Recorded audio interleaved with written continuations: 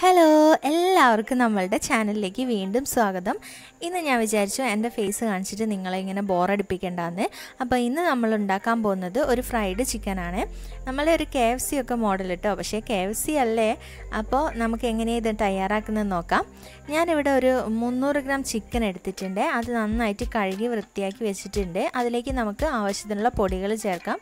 ഇപ്പോൾ ആദ്യം തന്നെ ചേർക്കുന്നത് ഒരു ഒന്നേ മുക്കാൽ ടേബിൾ സ്പൂണോളം മുളക് പൊടിയാണ്. കുറച്ച് സ്പൈസി ആയിക്കോട്ടെ എന്ന് വിചാരിച്ചു. ഇനി ഒരു കാൽ ടേ ഒരു കാൽ ടേബിൾ സ്പൂൺ മഞ്ഞൾപ്പൊടി കാൽ ടേബിൾ സ്പൂൺ ഗരം മസാല കാൽ ടേബിൾ സ്പൂൺ ചിക്കൻ മസാല പിന്നെ ആവശ്യത്തിന് ഉപ്പ് ഇതൊക്കെ ഇട്ട് കൊടുത്തിട്ടുണ്ട്. അതിനുശേഷം നമ്മൾ ചേർക്കുന്നത് ഒരു ടേബിൾ സ്പൂൺ ഇഞ്ചി വെളുത്തുള്ളി പേസ്റ്റാണ് അതിനുശേഷം ഒരു അര ടേബിൾ സ്പൂൺ കുരുമുളക് പൊടി പിന്നെ ഒരു മുക്കാൽ ടേബിൾ സ്പൂൺ സോയാ സോസ് ഒരു മുക്കാൽ ടേബിൾ സ്പൂൺ ടൊമാറ്റോ സോസ് അതും കൂടെ ചേർത്ത് നന്നായിട്ടൊന്ന് മിക്സ് ചെയ്ത് കൊടുക്കാം.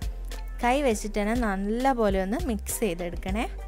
ഇതെന്നിട്ട് ഒരു ഏകദേശം ഒരു രണ്ട് മണിക്കൂറോളം നമ്മൾ റെസ്റ്റ് ചെയ്യാൻ വേണ്ടിയിട്ട് വെക്കണം. ഇനി നമ്മൾ തയ്യാറാക്കാൻ പോകുന്നത് കുറച്ച് പൊടികളാണ്. അതിന് ഞാനിവിടെ എടുത്തിരിക്കുന്നത് മൈദയാണ്. ഇത് ഈ ഒരു ഗ്ലാസ്സിൽ മൈദ എടുത്തിട്ടുണ്ട്. പിന്നെ നമ്മൾ ഇതിലേക്ക് രണ്ട് ടേബിൾ സ്പൂൺ കോൺഫ്ലോർ ആണ് ആഡ് ചെയ്യുന്നത് പിന്നെ അതിലേക്ക് നമ്മൾ മുളക് പൊടി ആഡ് ചെയ്യുന്നുണ്ട് ഒരു ടേബിൾ സ്പൂൺ പിന്നെ ഒരു കാൽ ടേബിൾ സ്പൂൺ ഗരം മസാലയും കാൽ ടേബിൾ സ്പൂൺ ചിക്കൻ മസാലയും ആവശ്യത്തിന് ഉപ്പും കൂടെ ചേർത്ത് നന്നായിട്ടൊന്ന് മിക്സ് ചെയ്തെടുക്കണേ. ഇതിപ്പോൾ ചിക്കൻ ഏകദേശം രണ്ട് മണിക്കൂർ കഴിഞ്ഞിട്ടുണ്ട് കേട്ടോ ഇനി നമ്മൾ ചെയ്യാൻ പോകുന്നത് ചിക്കൻ ഓരോ പീസ് എടുത്ത് ഈ ഒരു മിക്സിൽ നന്നായിട്ട് അതൊന്ന് പൊതിഞ്ഞെടുക്കണം. അപ്പോൾ നമുക്ക് എല്ലാം ഇതുപോലെ ഒന്ന് ചെയ്തെടുക്കാം.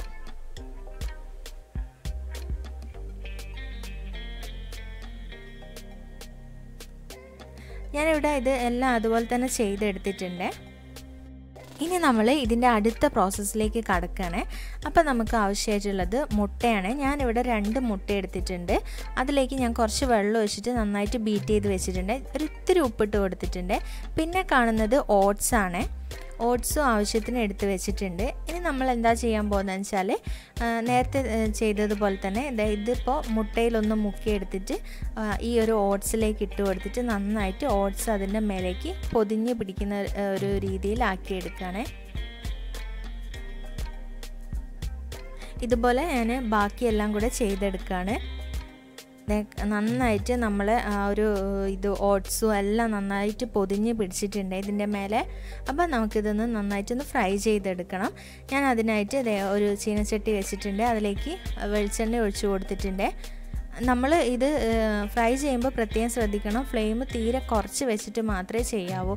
കാരണം ഇതിന് ചിക്കൻ വേവുന്നവരെ നിൽക്കണ്ടേ. അപ്പോൾ കരിഞ്ഞു പോകാതിരിക്കാനാണ് അപ്പോൾ അത് ഇത്രയേ ഉള്ളൂ.